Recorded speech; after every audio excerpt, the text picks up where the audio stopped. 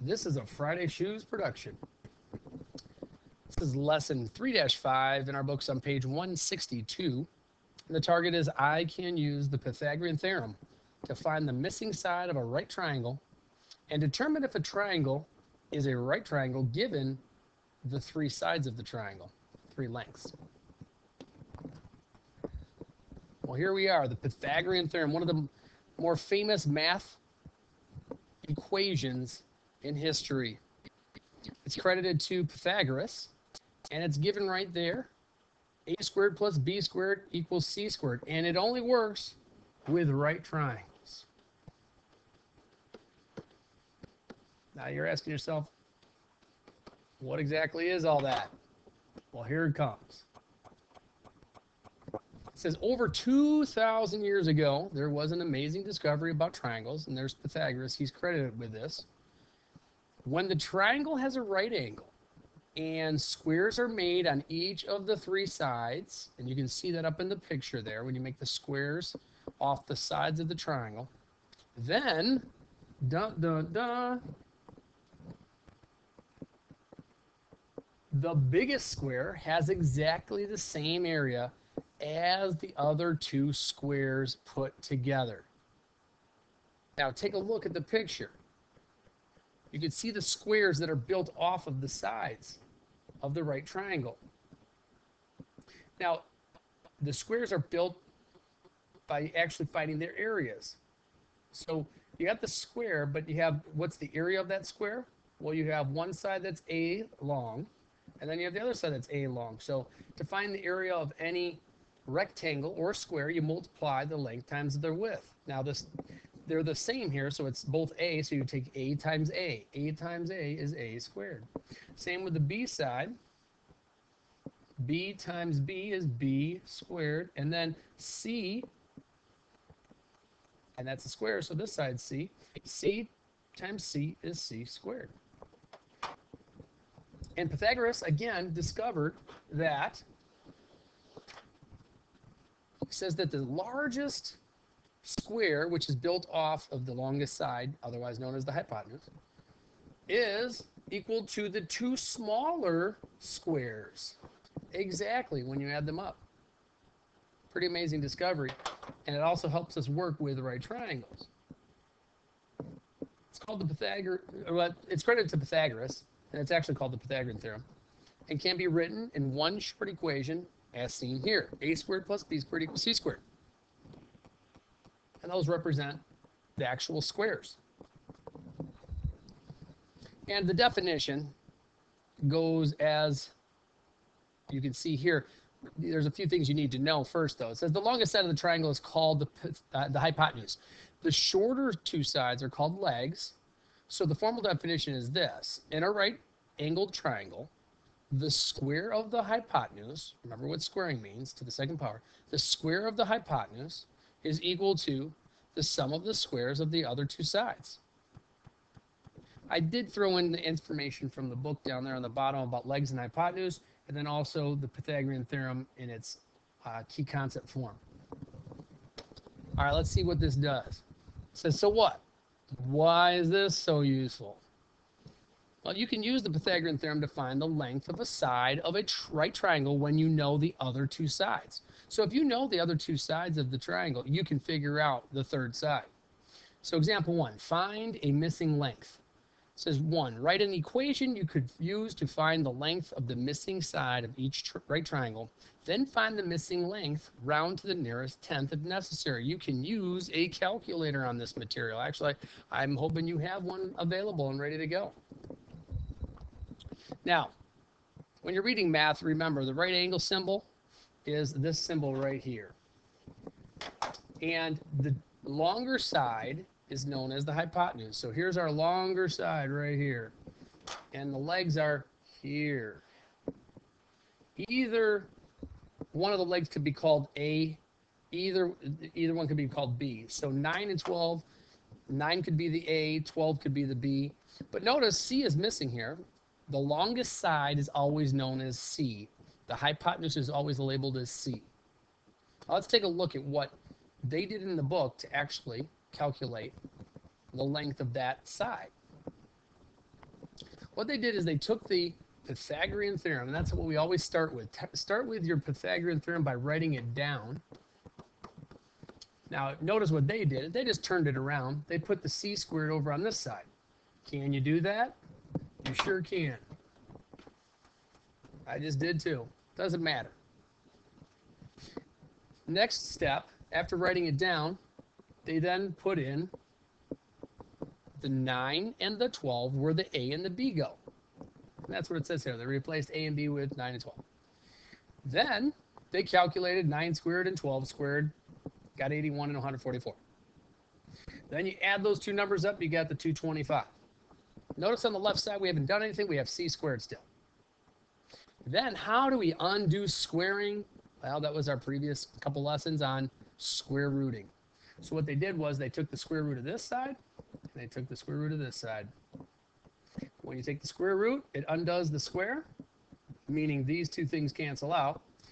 And c equals the square root of 225, which is either a positive or a negative 15. Now, since we're talking about length, we are going to use the positive. So, in the end, the hypotenuse is 15 inches long. That is how you use the Pythagorean theorem to calculate and evaluate and find the missing side length. Take a look at the second one. Now this one, if you notice, one of the legs is missing. Again, there's the right angle symbol here. These are the two legs. But this one right here is the hypotenuse. That's the longest side. That'll be our C right there. They have B missing, and they have A as 8. Let's see what they did to actually solve this problem. Well, take a look. They wrote down the Pythagorean theorem as I stated earlier. That's what we want to do. Then we have a squared plus b squared equals 24 squared, meaning they plugged in the hypotenuse. Remember, that's 24 right there. They plugged in the 8 for the a.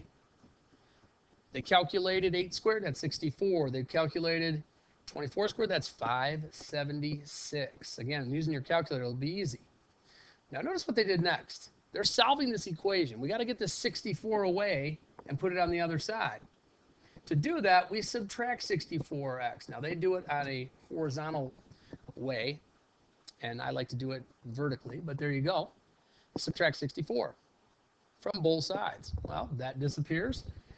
And then this changes into 512 on the right side. And we're left with b squared on the left side. Last thing we do is we square root both sides. So the answer is going to be either plus or minus 22.6 approximately. 512 is not a perfect square, that's why.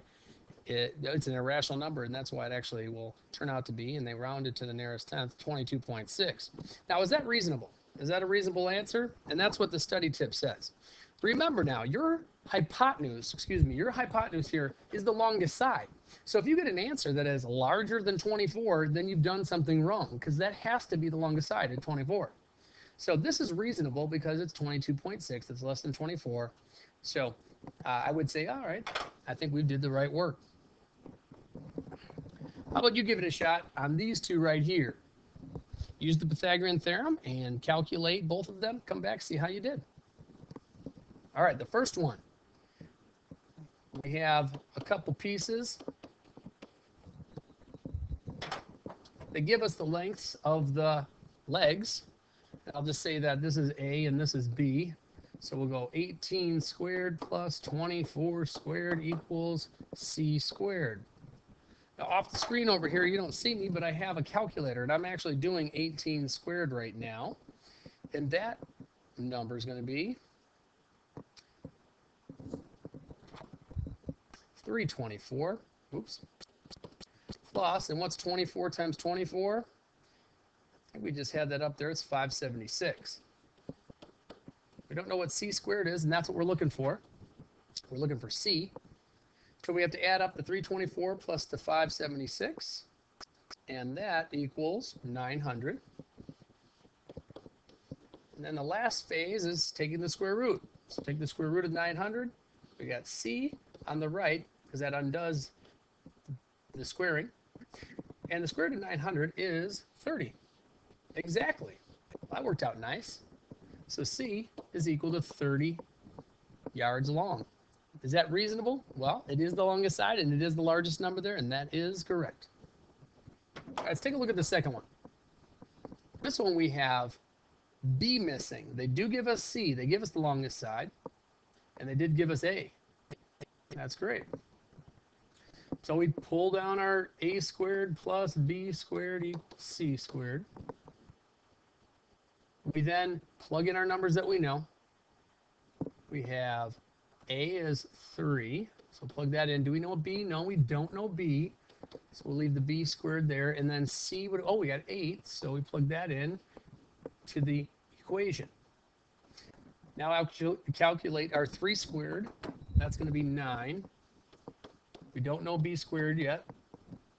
And then A squared, that is going to be 64. Now to solve, we're going to have to get b by itself. It's called isolating the variable. We're going to actually work our way down. So we subtract on both sides. We have b squared is equal to 64 minus 9, which is 55. Now, we don't have the answer yet. It's not 55. We have to unsquare this. So we got to take square root of b squared, which is b, and then the square root of 55, again, I'm going to do that on my calculator here. So we'll do 55 square rooted, and that comes out to be rounded to the nearest tenth, 7.4. I'll put the approximate symbol in there. There it is, and we'll call it miles. All right, moving on says here, if you reverse the parts of the Pythagorean theorem, you have formed its converse. The converse of a Pythagorean theorem is also true. And look at the converse of the Pythagorean theorem here as a key concept. If the sides of the triangle have lengths a, b, and c units, such that c squared equals a squared plus b squared, then the triangle is a right triangle. So basically, they're, they're saying if you actually are given three lengths of a triangle, and this holds true, the longest one the longest one that they give you, the side that is the longest, is equal to the two shorter sides squared and added together, then you have a right triangle that you have made. So take a look at number three here. It says the measures of three sides of a triangle are five inches, five inches, 12 inches, and 13 inches. 13 inches would be our hypotenuse because that's the longest side. Determine whether the triangle is a right triangle. Well, you can kind of draw a picture of this. You say, here's five, there's, uh, let's say 12, and then let's say this is 13. So we got 5, 12, 13. Is this going to be a right triangle? Well, it has to fit the Pythagorean theorem. So take a look at what they've done. They've written the Pythagorean theorem, put the numbers in. 13 has to be for your C, has to be alone by itself over there. Put in 5 and 12, squared the 5 and the 12, added them up, got 169. And guess what? 13 squared is 169. So if the left side equals the right side, which it does here at the end, then the triangle is a right triangle. If you do the math and it does not work out, then you say, nope, this is not going to make a right triangle with those three numbers. How about this? You try this, or no, I'm going to try this one. You get one coming down at the bottom here. No, this one actually is yours. Determine whether the triangle with sides of given lengths is a right triangle. Justify your answer. Well, let's all do it together. What the heck? So you got 4, 7, and 5, which is our hypotenuse, this one. So we've got c squared is equal to a squared plus b squared. Well, let's plug these in. All right, so let's plug in 7 here. I'm going to square that. And then a is 4. I'm going to square that. And then b is 5. I'm going to square that. A and B can be interchanged. It doesn't matter where you put the 4 and the 5, as long as it is in for A or B, not C. All right, then let's square it. 7 squared is 49. 4 squared 16, and 5 squared is 25. Add up the 16 and the 25, and you get 41. And we got 49 over here. Are those the same? No, they are not. Therefore, this picture would not be, it's not going to be a right triangle because it did not fit the right the Pythagorean theorem. It has to fit the Pythagorean theorem to work. And again, drawing a picture you would have to say that no, this isn't going to be. I'm not going to even draw the picture, but it's not going to be it. You can actually draw it in the beginning, but you'll notice it's not going to be a right triangle. Don't forget, you can always rewatch this video, read the examples in the book, or watch the personal tutor videos in the resources of the online textbook. And as always, this has been a Friday Shoes production.